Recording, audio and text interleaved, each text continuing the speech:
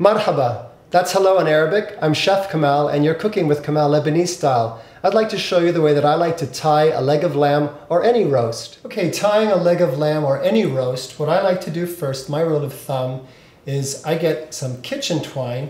Now you can buy this in most kitchen supply stores. Um, and I see the length of the leg of lamb or the roast that I'm about to do, and I cut a piece that's 10 times that length so I won't run out in the middle of tying. Now I start with a boneless leg of lamb. You can start with one that has a bone in it if you'd like. You'd still want to tie that. But I always do boneless legs of lamb. Now, I would have ordinarily marinated this in advance because you really want to, when you're marinating it, get all the nice marinade in there for a few hours and then go ahead and tie it. But what I like to do is just show you the, the way I like to tie these. Now, I, I always like to try to make it as long as possible. So you get a nice long roast. And here what I'm going to do first is just sort of shape it. And you want to make it even so that when it gets in the oven and it's baking, that it'll bake evenly. So this roast, this is really a big leg of lamb. So this is about five pounds.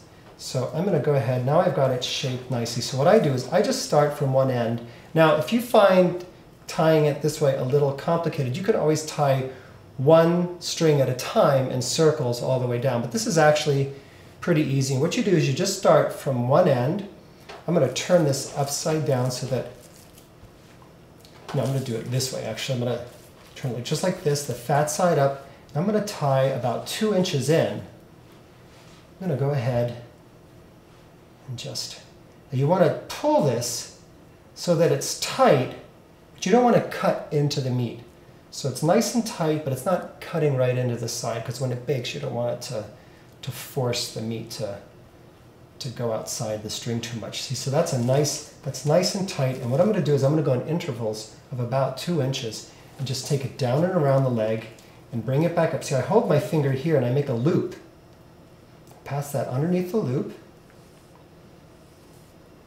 Just pull this through and then you can pull here and get this nice and tight. See, the whole time you're reshaping this leg of lamb, I'm going to go ahead and pass it under and make sure that you get the pieces.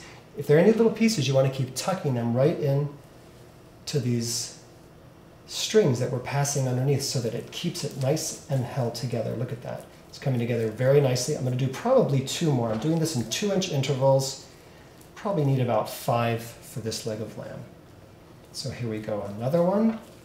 And then this last one right down here. Okay. Look at that, it's tied nicely. Now what I'm going to do, it can still sort of twist a bit. So I'm going to go ahead and flip it and pass this string through every other loop that we made. I'm just going to go ahead and pass this through, and I'm even going to pass it twice so that I can pull on it. And we'll come through this middle one, especially the center one, you want to send it through there because that's what's going to hold this whole thing nicely together when it gets in the oven and starts baking. Okay, we're going to pass this through one more time. Okay, we're going to pull it a bit and then through the last one. See, and this makes sure that we've got it nice and tight from top to bottom as well, not just the sides. And that's going to be that's going to be very helpful when you get this in the oven and start baking it.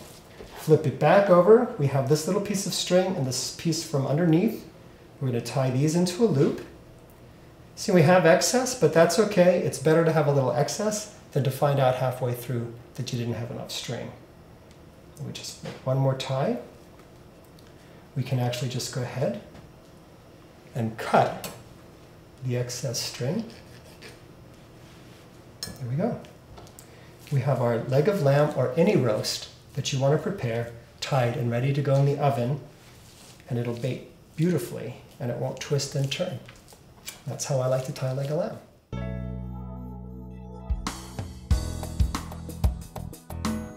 I hope you've enjoyed this tutorial. For more information on this recipe and my cookbook, Classic Lebanese Cuisine, please visit us at cookingwithkamal.com. I hope you enjoy preparing these recipes with your friends and family.